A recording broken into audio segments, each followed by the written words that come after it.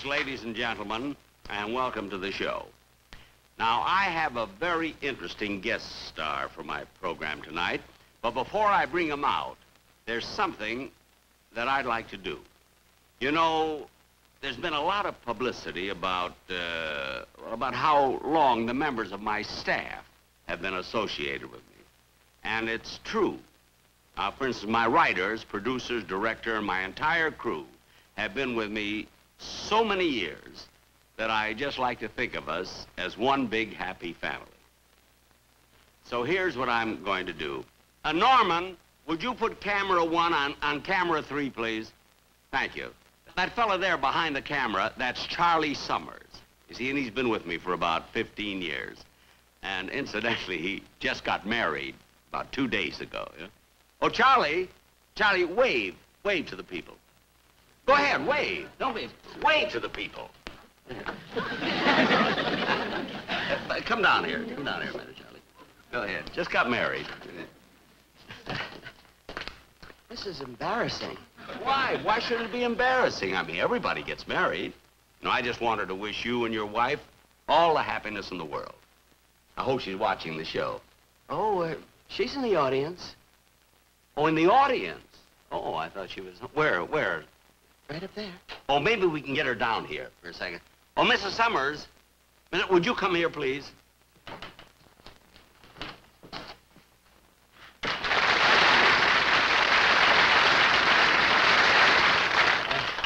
Mr. Benny, this is my wife, Selma. Well, Selma, I'm very glad to meet you. And I want to say you got yourself a fine man here. You know, I'm, I'm very, very fond of him. He's, he's been working for me for 15 years. I know. How come you never gave him a raise?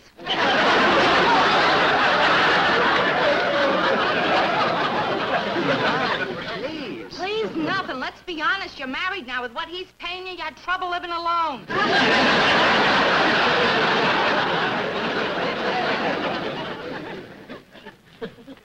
But Charlie never complained. Of course he never complained. He's a spineless schnook, and you took advantage of him. I took advantage of him. How, how can you say that? I, I've always liked Charlie. I've always told him how important he was to me. Well, why don't you put your money where your mouth is?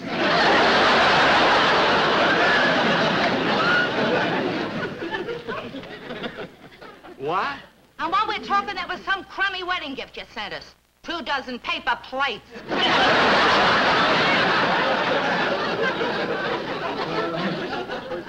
Selma. This is a marriage, not a picnic.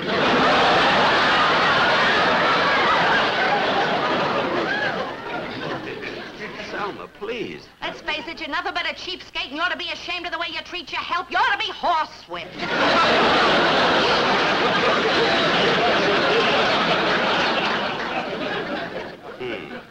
Gee, uh, I, I'm sorry this happened, Mr. Benny. But, but anyway, thanks for congratulating us. It's all right, Charlie. It's all W- right. would you like to kiss the bride?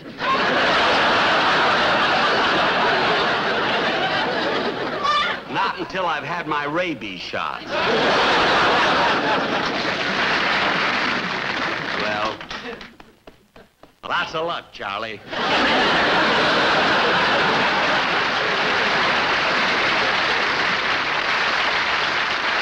You that's the, trouble with women. As soon as you get married, they want you to earn a decent salary. now, ladies and gentlemen, to get on with the show, as I said before, uh, tonight I have a very unusual guest. Oh, Don, Don, would you bring out that photograph, please?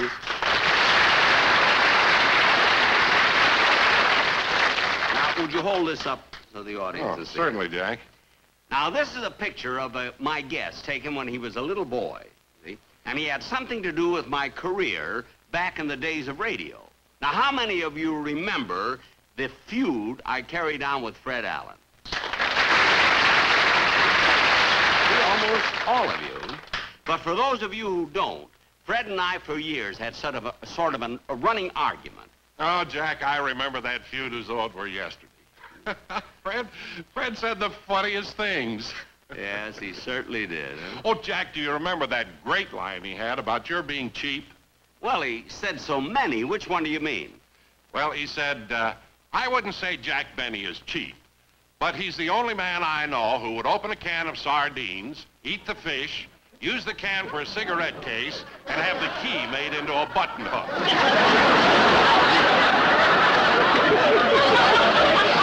Fred sure said the funniest things.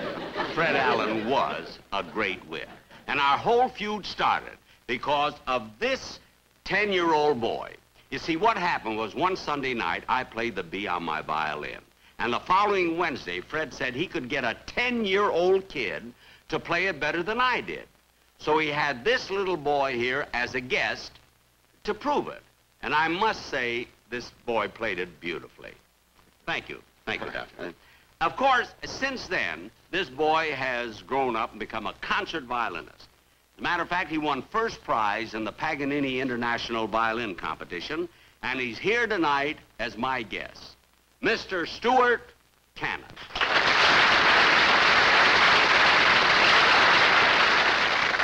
Ladies and gentlemen, this was that little boy who started my feud with Fred Allen.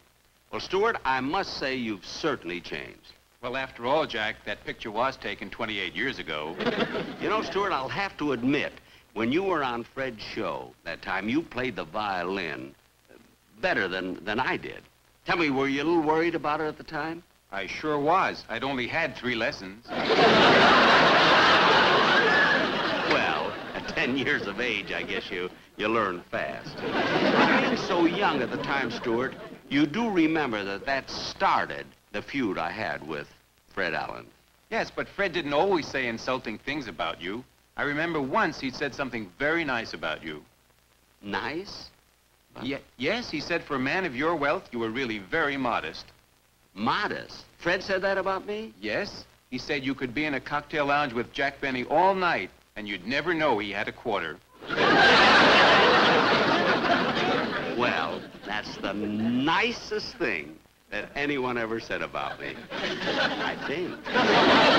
Anyway, ladies and gentlemen, getting back to our guest. Stuart Canin continued his musical studies, and today he is not only a concert artist, but he's professor of violin at Oberlin College Conservatory of Music. Now, Stuart, what are you going to play for us today? I'm going to play La Vida Breve by Manuel de Falla. Oh, yes, yeah, Defy. Yes, yes, I've played that several times.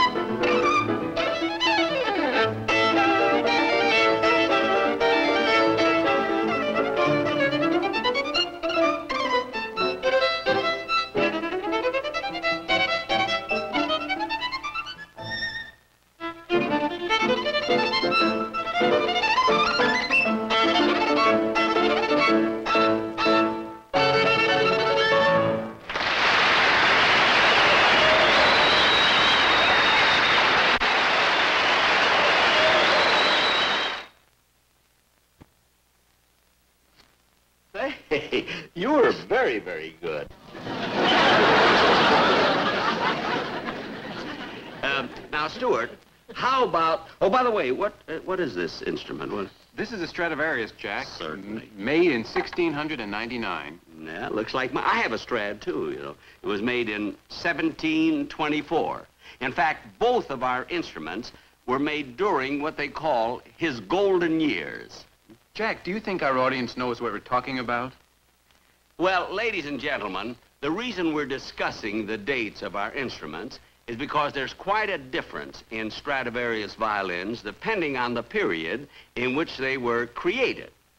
Now, uh, when our violins were made, you see, Stradivarius used to work months and months and months to make sure that every detail was perfect.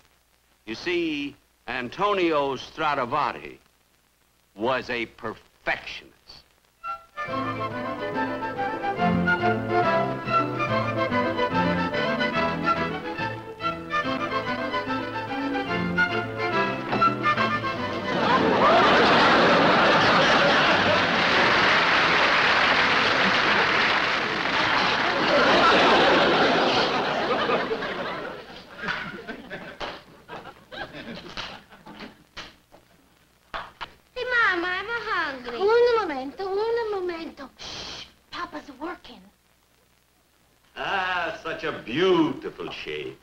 Such a nice a curves.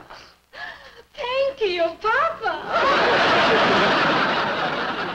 No, no, no. I'm going to talk about the violin. The violin. The violin. That's all that you think about. That's all you know. What are you talking? I think about you all the time. When are we going to have a baby? There's the baby. Where was I? Where was you? You was working on that violin.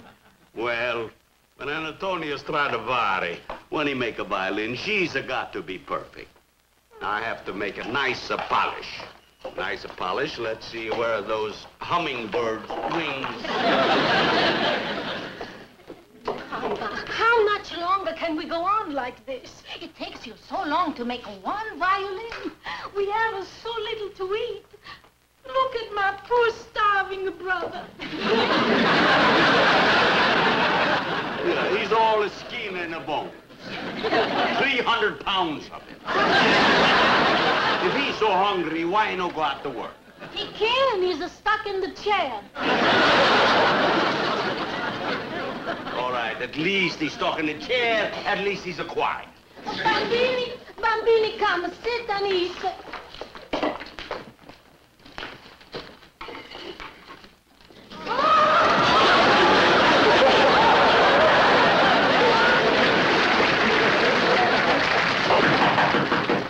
I answer, Mama. My dear customer. Antonio Stradivari? That's right. The little old violin maker. I mean. I ordered a violin nine months ago. Rondelli, that's my name. Ronde. Oh, come in, come in. Sure. I got you violin. This- Right there. Yeah. Oh. Huh. Eh? What do you look? I'm looking for see if your name is in. It's in, it's in. Oh, yeah, I see. Oh, beautiful. It's 200 lira. Yeah, matti bien, matti bien. You know, it's worthwhile to wait for a violin with the name Stradivari. Yeah. Oh, grazie, beautiful. grazie. Arrivederci. Eh, grazie. Oh, you do beautiful. Eh, eh, grazie, Bless grazie. you, bless Yeah, you. grazie, bless you, grazie. Grazie, grazie. Here, Mama. 200 lira. Big a deal. In the month, 200 lira. You gotta work a faster. But if I work a faster, I know make a good violin. But uh, all the all that they want is your name. Now look, you make it a violin, I make it a violin. You put your name Stradivari on both of them. They never know the difference. You got a good idea, but a lousy accent. Come on, a fast. We make a fast.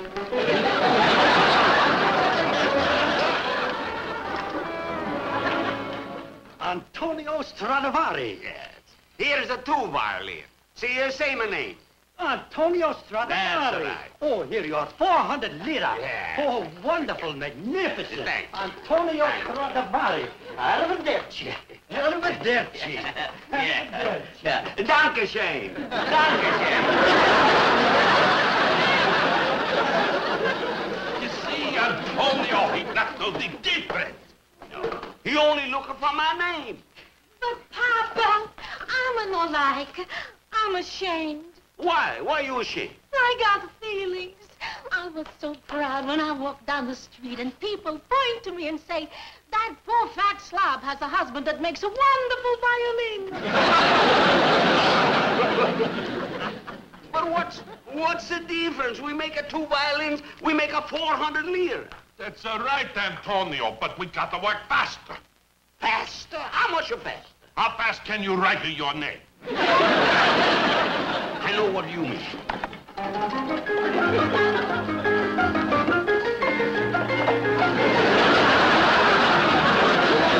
Wait, give me back, Mama. I, I forgot to cross a T.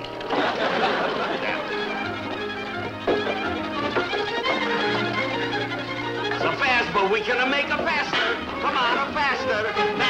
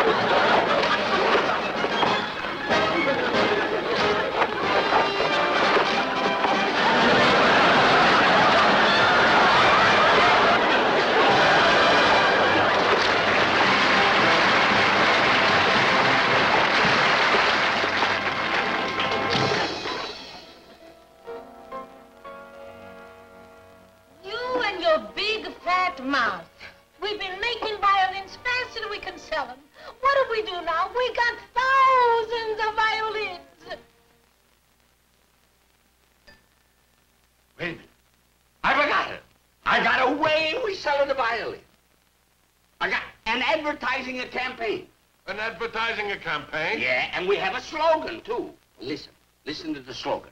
Promise her anything, but give her a strad. then we, we follow that with, with a Stradivarius, a sound of good, like a violin a shoe. What's only I got a good one? what? Next time, take it to Stradivarius and leave it to Boeing to us. That's a good one. Come on. We get this campaign moving. Come on, we got more. More, sir. Come on. Come on. We have a lot of time we make it a violin. And we have more, more slogan. More slogan. I got the million, million slogans. Stradivarius is the only polyunsaturated violin. That's good. the violin a. She's a crackle. She's a pop. A tippy canoe. And Stradivarius, too.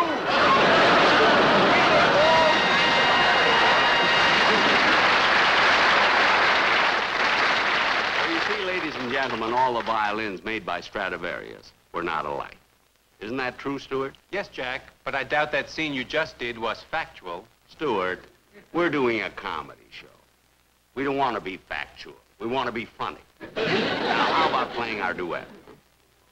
Ladies and gentlemen, we're now going to play the number that started the feud between Fred Allen and me 28 years ago. The Bee.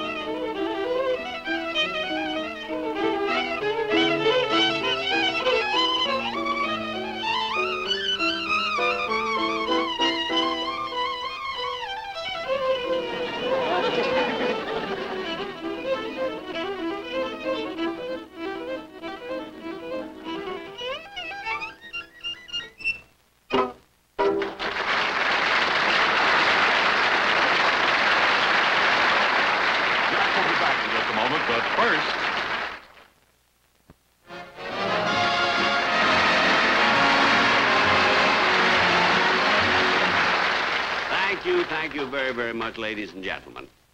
Well, that's the show. And I want to thank Stuart Canin for appearing on the program. How about that duet we played? I must admit, in all honesty, that I didn't think, I didn't think a man like Stuart Canin, a professor of music, a fine artist, would actually appear on a television show and play a duet with me. I guess it proves that teachers really are underpaid. well, good night, folks, and I'll be seeing you soon.